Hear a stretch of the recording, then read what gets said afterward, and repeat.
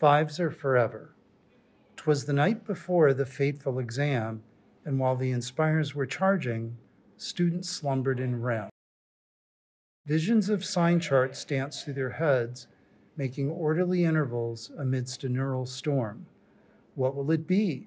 A min or a max, or perhaps neither if the sign of f prime doesn't change.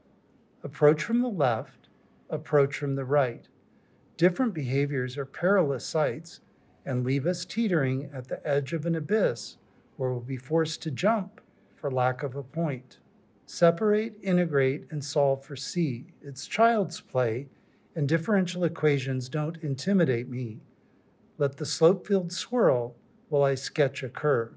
A bountiful breakfast awaits in the morn, packed with proteins to fuel your brain. You've worked hard for this moment to shine. A five is forever, not fleeting fame. You're going to nail it and hang on the wall, paragons of excellence who inspire us all. And on that note, I must bid you adieu and wish the best for all of you.